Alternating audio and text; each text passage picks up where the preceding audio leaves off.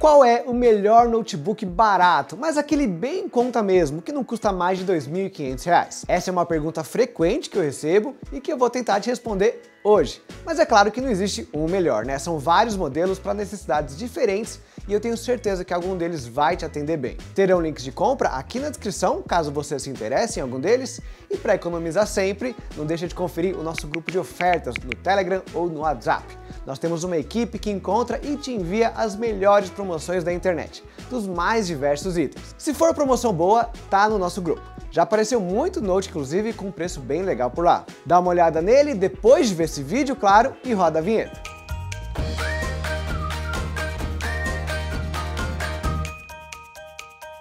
Bom, vamos listar os notebooks do mais básico até o mais avançado, que é mais ou menos também a ordem de preço.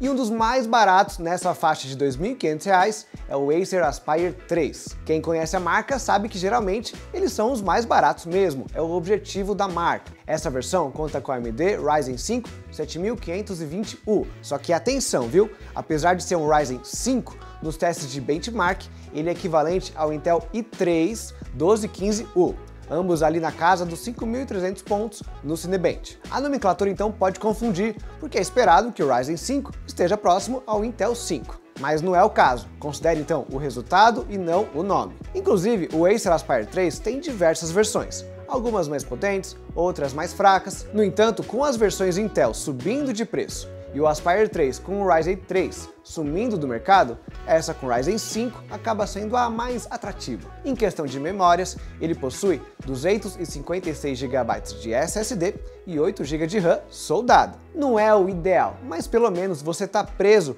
numa quantidade base um pouquinho maior. Algumas vêm apenas com 4 GB, que hoje em dia não faz mais sentido. Mas o que eu coloco como um grande ponto fraco é a tela realmente muito fraquinha. Ela tem baixa resolução e baixa qualidade. Ela é apenas HD com painel TN com cores lavadas e um ângulo de visão fraco. Isso, junto de uma construção básica, contribui para uma experiência bem de modelo de entrada. E a bateria tem 40 Wh, quantidade essa um pouco menor que de costume, mas não por muito. O Ryzen 5 é bem eficiente e a tela de baixa resolução ajuda a estender o tempo que ela aguenta, pelo menos para um dia inteiro de trabalho. Então até agora tá tudo ali bem mediano, bom para o notebook de uso do dia a dia, sem forçar demais o hardware. Se eu separar apenas duas características, a melhor e a pior, para colocar numa balança, eu diria que o preço fica do lado positivo e a tela HD do lado negativo. Mesmo para esse hardware mais limitado, um notebook mais simples ainda seria melhor com uma tela pelo menos Full HD. Isso considerando, claro, que o Aspire 3 custe menos de dois mil reais. Hoje ele está aparecendo por 2.300 mais ou menos, que apesar de parecer bom, é um valor alto para o que ele oferece. Existem outros modelos aqui na lista mesmo, num valor parecido ou melhor. No geral, vale a pena você segurar um pouquinho esse seu dinheiro e comprar um notebook mais completo depois. Mas para quem realmente precisa de algo barato para agora, aí o Acer Aspire 3 por menos de dois mil reais pode ser uma opção interessante. Algo parecido acontece com o segundo notebook da lista, o IdeaPad 1. Aqui as semelhanças são realmente grandes. Ele tem o mesmo processador, o Ryzen 5 7520U, a tela é igual com painel TN e resolução HD e a mesma memória de 8 GB soldada. Ou seja, os pontos fracos são todos iguais. Algo que é só parecido é a bateria, com 42 Wh. Esses 2 Wh mais aí não afetam de forma considerável a duração do notebook. Agora, o que ele tem de melhor é o SSD, pelo menos nessa versão aqui. Ela vai para 512 GB e mais espaço pode reduzir bastante a necessidade de você colocar suas fotos e vídeo lá na nuvem. Isso sem um aumento considerável para sua carteira, que é sempre bom, né? Acaba que o SSD é o grande diferencial do IdeaPad 1, principalmente considerando que com o processador Intel apenas a versão de 128 GB de SSD e 4 GB de RAM soldadas estavam num custo-benefício bom. Aliás, pensando em todas as outras versões, esses modelos Intel, chamados de IdeaPad 1i, estão num valor elevado demais agora. Por isso, a preferência totalmente para AMD.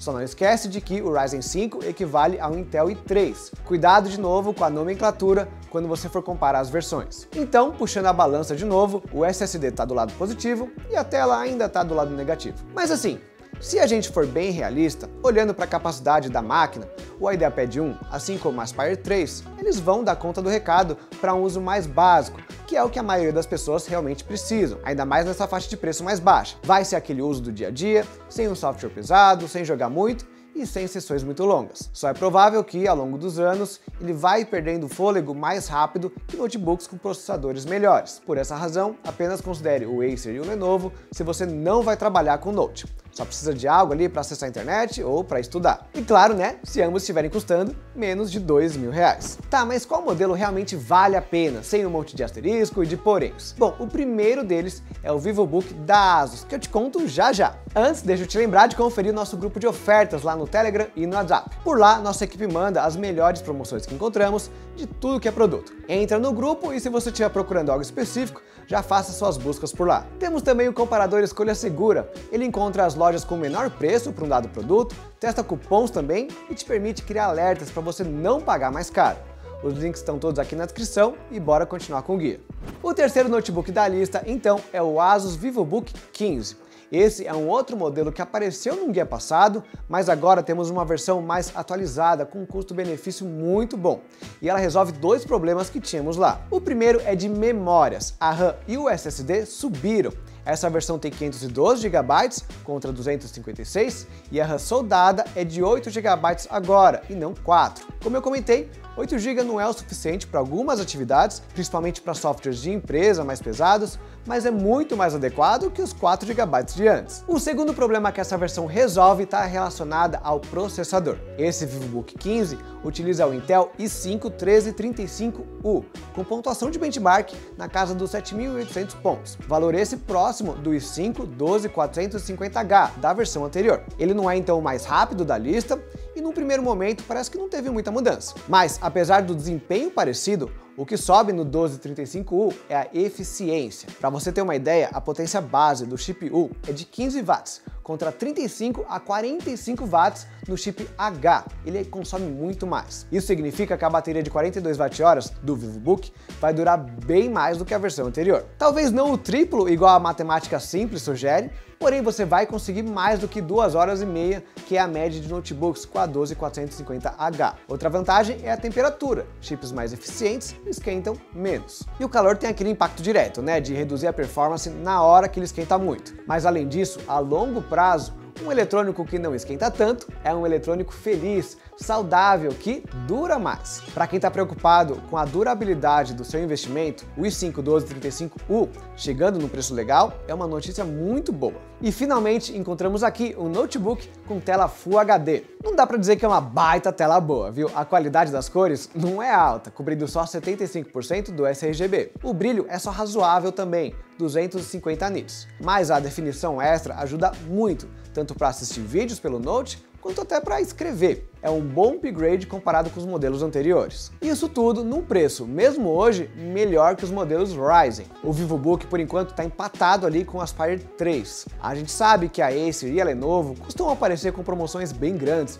bem agressivas lá na Black Friday. Então essa semelhança de preço talvez não se mantenha a longo prazo. Mas mesmo no preço atual, entre 2.200 e 2.400 reais, o VivoBook leva muita vantagem. O único problema mesmo é que o nome dos notebooks da ASUS são todos muito parecidos. Então você pode acabar vendo a versão errada. Confere aí se você está comprando o i5 com a 1235U, que tá show. E agora, em quarto lugar, Samsung o grande legado do Galaxy Book 2 está chegando ao fim, praticamente você não encontra mais ele nas lojas, mas tudo bem porque o Galaxy Book 4 está tomando o seu lugar. O preço ainda não está tão bom quanto já foi no Book 2, mas essa versão com processador i5 1335U está caindo rápido, e o Book 3, que poderia ameaçar o Book 4, parece que não vai melhorar tanto. Esse aqui é um modelo mais recente, que tem um belo poder de fogo, graças à Intel de 13ª geração. Como eu falei, o i5 1335U. Nos testes de benchmark, ele consegue de 8.200 a 8.500 pontos. Para você ter uma comparação, a novidade da Intel, o processador Ultra 7 155U, super novinho, consegue nos nossos testes 8.920 pontos, não é uma diferença tão grande assim, e esse aqui é o modelo Ultra 7, viu? Não é Ultra 5. O que aconteceu é que a Intel não exatamente priorizou o desempenho na sua linha nova, pelo menos não diretamente. Eles estão focando bastante agora naquela história de inteligência artificial, com a região própria para isso chamada NPU.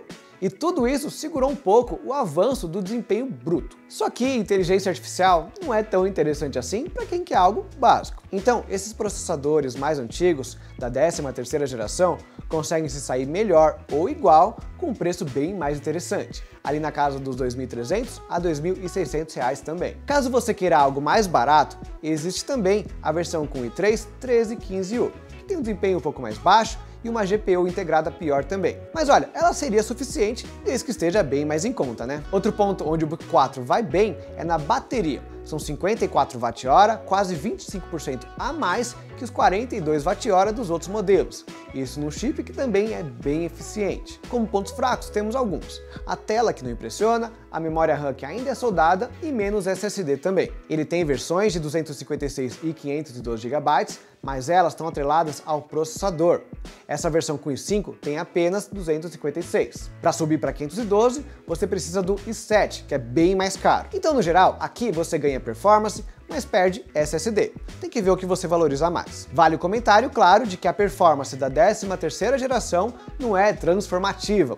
O Galaxy Book 4 é bom para as mesmas atividades simples do resto da lista. Ele só é um pouco mais rápido nesses programas básicos e principalmente vai ter mais fôlego a longo prazo. E o último modelo da nossa lista é o Dell Inspiron. Quase sempre, inclusive, esse é o modelo que fecha os nossos guias. E dessa vez eu tô colocando ele aqui como um otimismo, viu? Uma aposta de que eventualmente ele vai chegar num preço bom de R$ 2.500. Esse é o Inspiron 3530, um notebook de uso básico, dia a dia, que eu gostei bastante, mas que ainda custa os mesmos R$ 3.399 lá do seu lançamento. Dá para tentar economizar com algumas versões mais simples. Existe também o Inspiron com Ryzen 5, por exemplo, o 7521. Só que se é para descer para essa versão ou para aquela com i3, eu acho que a preferência é pegar alguns concorrentes, a Asus ou a Samsung. Quem eu realmente recomendo é o Inspiron 3530 com Intel i5 1334U. É um processador basicamente idêntico ao 35U, ainda mais em questão de Cinebench, que vai ter aquela mesma base boa. Olha, vai ser aquela experiência de notebook moderno moderno que você está esperando de um Whisper. Então, vamos supor que o preço dele vai ficar legal daqui para frente. E nesse caso, um dos maiores diferenciais desse modelo é a tela. É uma Full HD de 15.6 polegadas com painel WVA.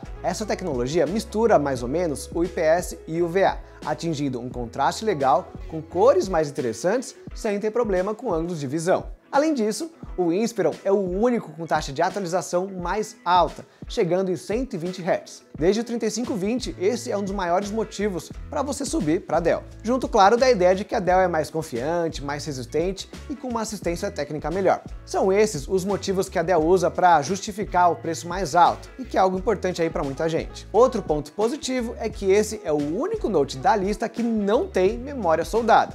Você começa em 8 GB, mas pode alterar tudo se quiser. Inclusive, caso você esteja pensando no upgrade, faça por fora mesmo, porque apenas o Inspiron com i7 tem 16 GB.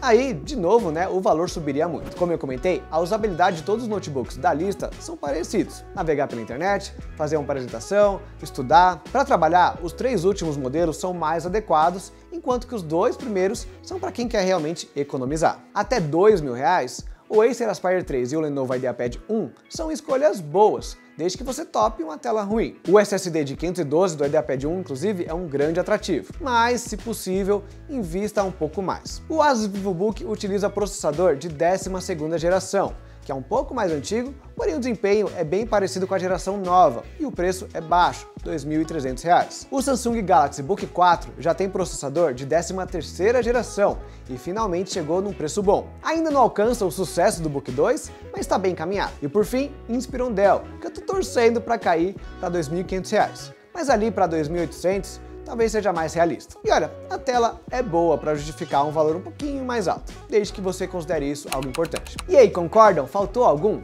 Tá um pouco difícil mesmo encontrar bons modelos custo-benefício de notebook, mas esses cinco, por enquanto, devem ser boas promessas para Black Friday. Deixe a opinião de vocês aqui embaixo, junto do like, não se esqueçam dos links na descrição, de se inscrever no canal e até a próxima. Até mais!